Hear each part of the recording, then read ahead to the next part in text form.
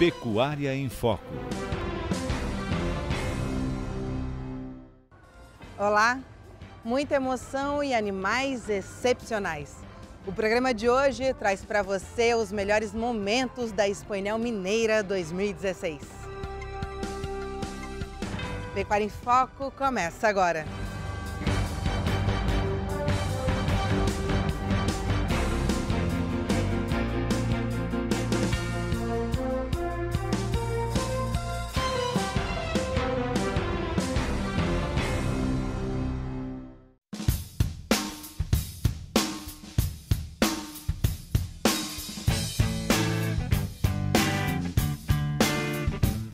Tremular movimentado da bandeira do Brasil dava o tom de como seria a Expoinel Mineira 2016.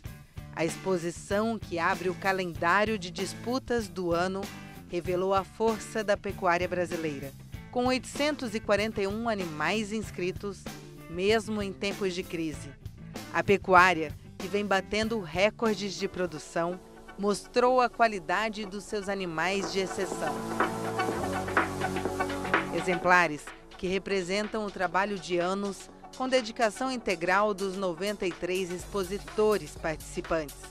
Nelore Minas que tem essa tradição de abrir o, o calendário e mais uma vez uma exposição de bastante sucesso que muito nos, nos orgulha, é, que mostra a confiança no trabalho da Nelore Minas e o que mais é, é, nos engrandece nesse, nessa expectativa para 2016 é ver a quantidade de animais em pista, quase 850 animais em pista, e ver um gado de altíssima qualidade, um gado muito bem manejado, muito bem conduzido, que mostra que o ritmo que nós terminamos 2015 é o mesmo ritmo que se inicia 2016. Nós temos três novidades no ranking desse ano, que é a Progênio Jovem de Pai, a subdivisão das categorias de, de bezerra jovem e bezerra, é, e também do, da premiação do terceiro prêmio, do terceiro colocação no, no campeonato.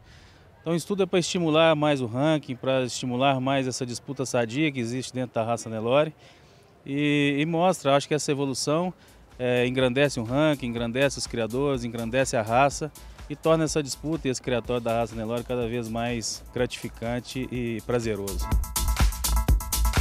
A Espanhol Mineira aconteceu entre os dias 22 e 28 de fevereiro. Além das disputas de pista, foram realizados cinco leilões. O primeiro remate elite do ano foi o leilão de prenheses A Essência da Vila Real. A gente busca fazer com a maior dedicação, a maior atenção, o maior cuidado possível. Buscamos no detalhe tentar fazer a diferença.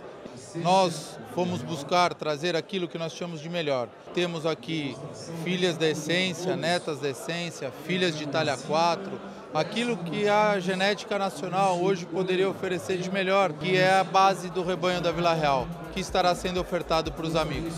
Ao todo, os leilões da Mineira movimentaram quase 3 milhões de reais.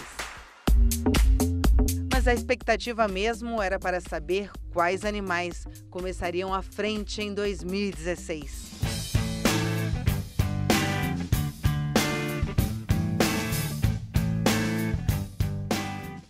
E depois do intervalo a gente volta com muito mais da Espanhol Mineira aqui no Pecuária em Foco. É só um instante.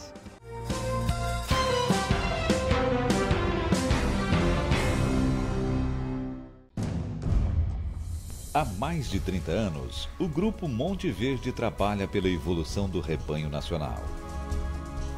Tanto nos exemplares de elite quanto no gado de produção. A genética é baseada em números de excelência nunca esquecendo de manter uma atividade sustentável. Grupo Monte Verde, fazendo mais pela pecuária brasileira.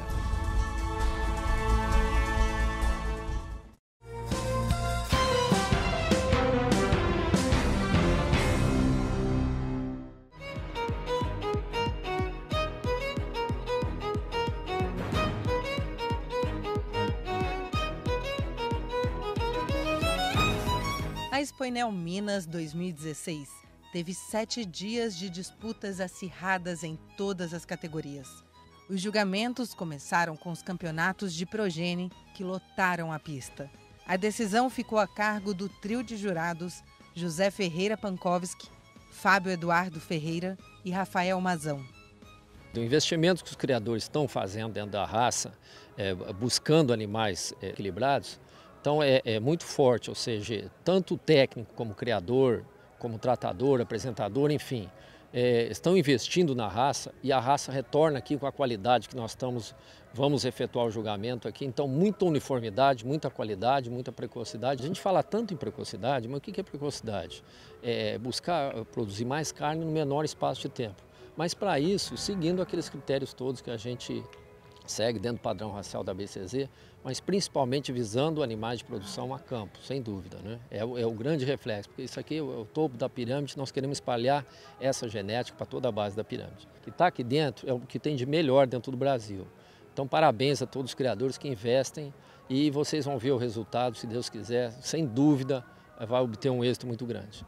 Comemora você, gordo da Jatobá. É os primeiros campeões do ano foram os filhos da Jolie Five do Mura, da Jatobá Agricultura e Pecuária, que levaram o prêmio de progenie jovem de mãe.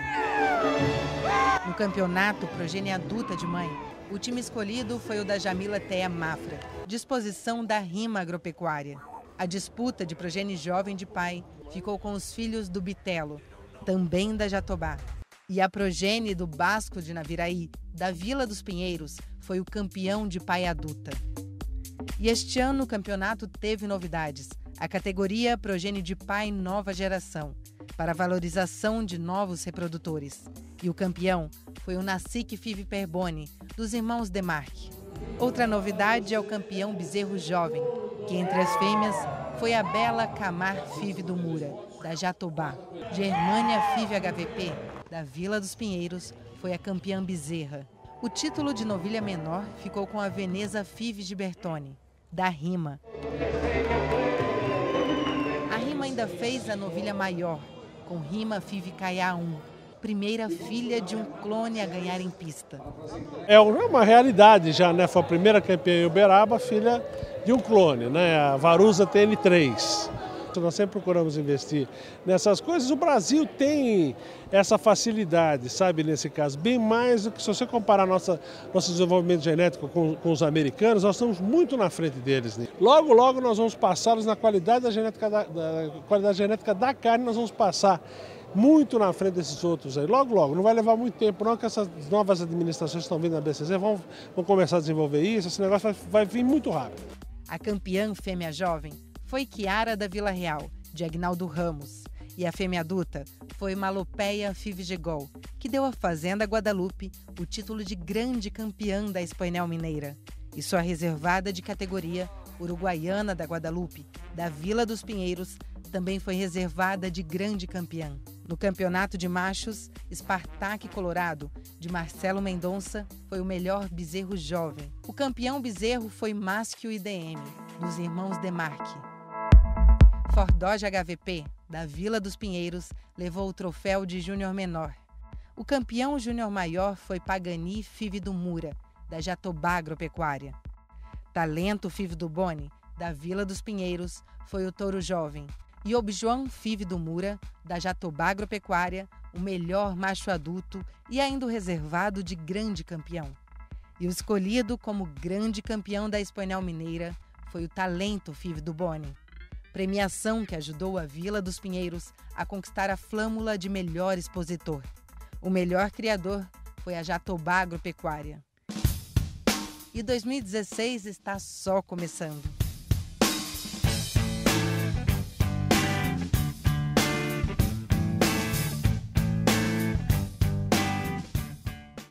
Parabéns a todos os campeões e criadores que estiveram presentes nesta importante exposição.